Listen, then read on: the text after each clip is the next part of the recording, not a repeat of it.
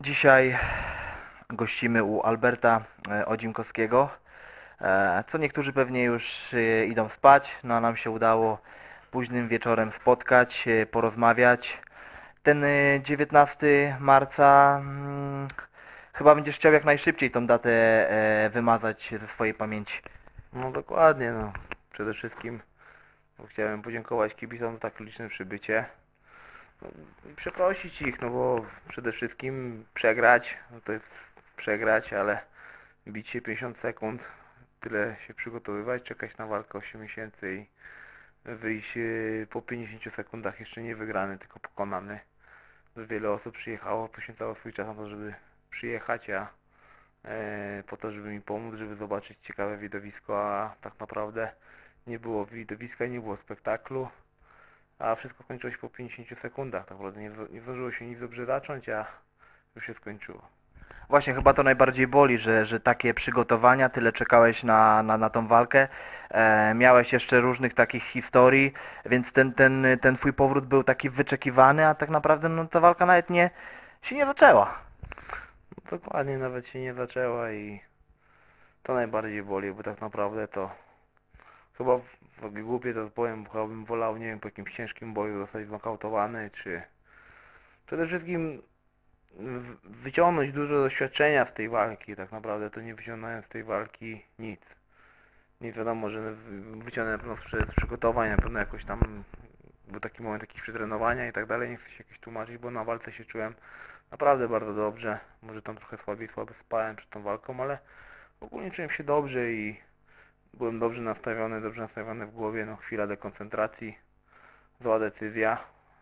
Paweł okazał się lepszy tego dnia, wygrał służenie walkę. Kibicuję mu dalej, e, żeby zdobył ten pas. E, No i cóż, no ja na pewno się nie poddaję. Na pewno powiedziałem sobie, że choćby nie wiem co, to osiągnę cele, które sobie założyłem w głowie. Yy, mam świadomość tego, że wszystko jest, żeby te cele osiągnąć i cóż, no, trzeba się stawiać lepszym, prawda? No, nie, nie może być tak, że dostosowuję swoje życie i będę się załamywał. No. Nie mam z czego się cieszyć, bo nie masz czym.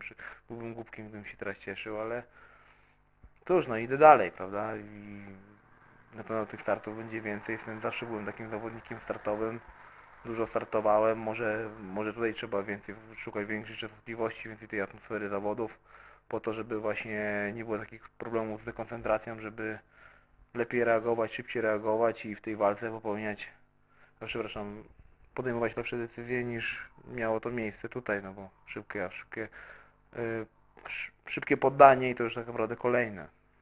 Ale właśnie dużo osób mówiło, że to był duży, to był duży pech, tak? Mówiłeś, że to była zła decyzja. Złą decyzją było to, że sprowadziłeś tą walkę do parteru? Nie, taki był plan. Ja też ogólnie nastawiałem się, że będziemy się bić w stójce, ale miałem świadomość tego, że e, tutaj będzie mój taki atut wszechstronności, że jeśli będę Pawła sprowadzę w tym do tego parteru i że tak powiem będę miał możliwość wymęczyć go tymi zapasami, clinczem, to być może to będzie skutkowało tak, że e, zabiorę tej szybkości z Pawłowi w stójce, że będę mógł e, będę, będę w stanie go w tej stójce w jakiś sposób wyprzedać i go e, kontrować i łatwiej będzie mi narzucić tempo, prawda? I ja ogólnie mam tak, że nie wiem, jak wstaję z, z parteru do góry i tak dalej, nie mam jakichś, nie wiem, kiedy, kiedyś może to było na początku, ale nie odczuwam jakiegoś tam straty jakiejś szybkości i tak dalej, że dobrze mi się łączy ogólnie i czy uderzanie, czy, e, czy ten parter, jakoś się w nim jakoś specjalnie tam nie spinam. I tutaj szukałem tak samo dodatkowo jakiegoś swojego, swojej przewagi, że właśnie tymi sprowadzeniami, że będę mógł przede wszystkim, e, że tak powiem, zrobić sobie jakiś taki handicap, czyli do połowy rundy trochę zmęczyć Pawła i potem tą walkę znowu przenieść do stójki. No, zaczęła się dobrze, trafiłem na początku prawą, prawą ręką. No cóż, no, no, każdy widział, no tak naprawdę to nie ma tutaj co opowiadać. Na początku e, wciągnął ci tą rękę tak gdzieś do połowy i później, później było to takie kluczowe e, dopięcie. Od razu jak, jak ci złapał tą rękę, to wiedziałeś, że to już jest, y, że tak powiem, pozamiatane, czy cały czas walczyłeś, żeby jednak no, się wybronić z tego? Jak pierwszy raz się Paweł w ogóle skręcił, to ja myślałem, że nie wyciągnie mi tej dźwigni. Byłem przekonany, że nie wyciągnie jej, że To była trochę zła decyzja, bo ja na początku obawiałem się od trójkąta, chciałem się wyprostować, zerwać to, żeby zacząć bić z góry na wysoko. Tomek jeszcze powiedział właśnie, że jeszcze nie pomyślałeś jak, jeszcze nie uwolniłeś ręki, aż pomyślałeś jak, jak chcesz uderzyć z góry. Oczywiście może rzeczywiście miała taka, tak było. no. A, mm, tam Tomek mm, krzyknął mi z narożnika, e, żebym wsadził kolano na głowę.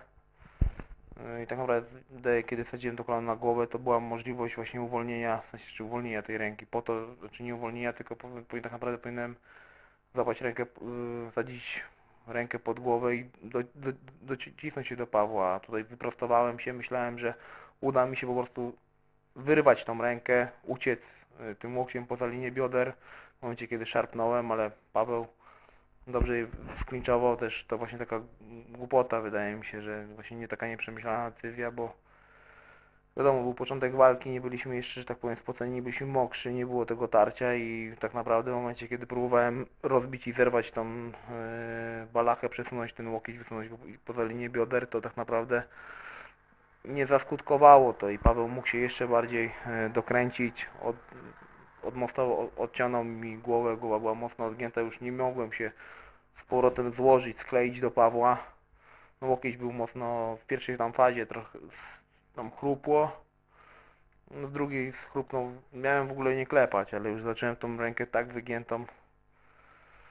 No cóż, no. Już się obawiałeś. Znaczy, no wiadomo, no teraz pół roku jeszcze pauzować, no to jest całkowita głupota, nie? ale no cóż, no, mam nadzieję, że jak teraz jak najszybciej wy- wystartuję, mam teraz plan wystartować e, w kiku, trochę się pobić, na pewno i na pewno będę jeździł w grapplingu i jak najwięcej tych startów, jak najwięcej, tak, znaczy przede wszystkim po, po, takie poczucie takiej atmosfery zawodów, wiadomo, że sparring to nie zawody, nie taka konfrontacja taka na, że w jaki sposób jest ona tam notowana, na pewno to też jest potrzebne, więcej tych startów, kiedyś startowałem bardzo dużo i na pewno będę starał się wracać jak najwięcej, przez, chodzi mi tutaj też o grappling, prawda, grappling, nawet kick, po to, żeby była cały czas ta atmosfera zawodu, żeby nie było takich właśnie przerw yy, 8-miesięcznych, bo w sumie wszystkie walki, jakie przegrałem tej pory, to były właśnie po dłuższej przerwie, czy z, z Mikaelem, czy z Midaugasem, czy właśnie teraz z Pawłem. Ale powiem Ci szczerze, żeby Paweł Żelazowski chwilę po, po swoim zwycięstwie bardzo dobrze się o Tobie e, wypowiadał. Mówi, że, że, że wierzy, że wrócisz silniejszy. Życzył Ci wszystkiego najlepszego. Później się e, wypowiadał szef Fenu. Również mówił, że, że wierzy, że Odzimkowski wróci mocniejszy mm, w następnej e, walce. No tak naprawdę słuchaj, no, no to jest MMA, tak? Y, Tam takie sytuacje się zdarzają. To nie jest, nie wiem, jak na przykład boks, że, że można przewidzieć. Tutaj y, ułamek sekundy, jedna chwila, jedna akcja. Ko- wiesz, ale y, po prostu, no, no jedna akcja kończy walkę, tak? Ta dyscyplina sportu jest bardzo nieprzewidywalna. No bardzo mi miło właśnie, że Paweł tak powiedział. Ogólnie no, po- bardzo też pozdrawiam Pawła. Jesteśmy, byliśmy kolegami przed walką, jesteśmy kolegami po walce. Yy, tak naprawdę, no jak wyszliśmy tam, to chcieliśmy sobie obaj pourywać te głowy i nastawiliśmy się na to, że to... No ja też się, Paweł też się za mnie nastawiał, tak naprawdę to wykorzystał mój błąd i też się nie nastawiał na to, sam powiedział po walce, że to tak y, będzie wyglądało. Yy, Też mi miło, że sam szef organizacji się tak o mnie wypowiada. Ja przede wszystkim też nie straciłem tej wiary, w sensie tak, cały czas mocno w siebie wierzę. Yy, Mam świadomość tego, co potrafię i na pewno będę starał się jeszcze wiele, wiele razy dać radość tym, ki- tym kibicom i powiedziałem sobie, że teraz jeszcze, jeszcze więcej takiej złości sportowej yy, nabrałem. Yy, Staram się przede wszystkim wyciągać wnioski, nie załamywać się, no. Yy, Że tak powiem, pozdrawiam wszystkie panie, ja jestem mężczyzną i tak dalej, nie będę się załamywał i nie będę się mazał, prawda, prawda, no przegrałem, no. Paweł okazał się tego dnia lepszy, jeśli walczę, to mogę wygrać, prawda, jeśli nie będę walczył, no to już przegrałem, tak, tak jak Piłsudski powiedział, tak, jeśli, nie wiem, odnieść zwycięstwo, już nie pamiętam, ale w każdym razie, że odnieść zwycięstwo i zaprzestać to jest klęska, prawda, ale przegrać i walczyć, no to wszystko się dalej dzieje i tak naprawdę sami jesteśmy kowalem własnego losu. Już nie, nie chcę dokładnie przytaczać, bo nie pamiętam dokładnie tego powiedzenia, ale wiem, że nasz marszałek tak mówił. E, No cóż, no ja to wszystkim bardzo chciałem podziękować kibicom, bo naprawdę, no ja ich zawiodłem, ale naprawdę E, Będę jeszcze nie raz chciał udowodnić i pokazać i dać przede wszystkim dobrą widowiskową walkę. E, No i przede wszystkim wiadomo, teraz zrobiłem dwa, trzy kroki w tył, ale e, Ale wrócisz mocniejszy. no wiadomo, to się tak mówi, wrócisz mocniejszy, wrócisz mocniejszy. Ja naprawdę to nie, nie mówię to, żeby to powiedzieć, tylko po prostu mam tego świadomość, mam świadomość swojej war wartości. Yy, Wiem, że mam umiejętności na to, żeby mm, zajść w tym sporcie daleko i mam tą świadomość. Yy, Uważam, że też jest tam, wiadomo, że pokora i to wszystko to jest bardzo ważne. Mądre przygotowanie. Tak naprawdę przed walką jakieś tam wnioski, jeśli chodzi o przygotowanie, już wcześniej były jakieś tam w głowie. Trzeba wcielić to w życie, jak najszybciej wystartować, znowu zawalczyć, pewnie gdzieś za granicą.